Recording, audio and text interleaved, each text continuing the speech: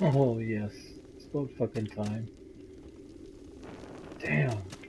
That was awesome. Alright, YouTube, catch you in the next vid.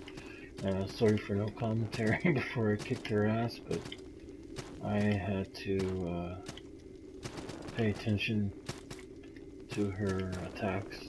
That may have seemed easy to you, but that took me a long time to get that down and to figure out that uh, what the blessed page I only have one left. I think I had six of them.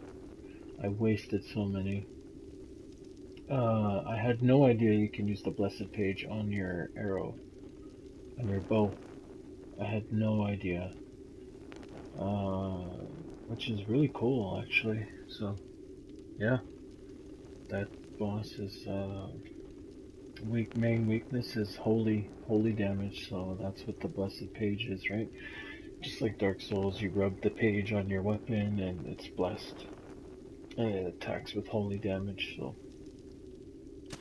Anyways guys this is Salt and Sanctuary. That was the queen of oops that was the queen of smiles. And that was the second boss. I haven't been playing this game too much, but I'm getting back into it. Uh, catch you in the next vid. Much love, fam. Create, not hate.